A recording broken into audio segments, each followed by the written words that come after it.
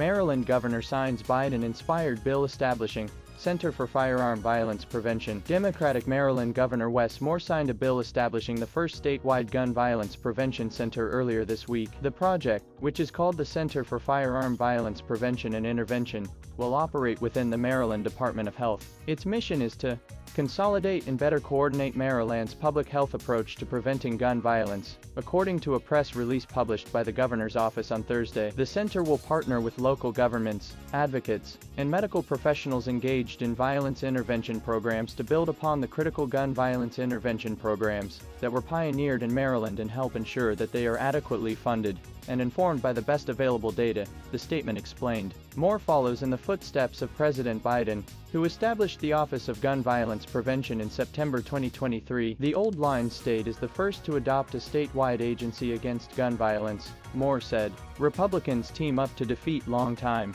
restriction targeting gun owners, violation of the Second Amendment. Maryland became the first state in the nation to officially answer President Biden's call, the governor told reporters. Moore also signed the Growing Apprenticeships and the Public Safety Workforce GAPS Act which is aimed at better funding police departments in the state, with police departments across the state facing challenges with hiring and retaining officers. The bill proposes short and long-term actions to help address the problem by reforming the existing apprenticeship model for public safety officials, with the goal of making apprenticeships a more viable pathway to law enforcement, and requiring the establishment of a model policy for law enforcement officer wellness programs to ensure officers receive the support they need in their often challenging work. The statement explains. Pelosi rebuked to her face during Oxford debate after condemning Americans clouded by guns. Gays God. The laws come as Baltimore continues to be ravaged by crime. According to the Baltimore Police Department's website, there have been more than 1,800 aggravated assaults and 1,200 robberies since 2024 began. In addition,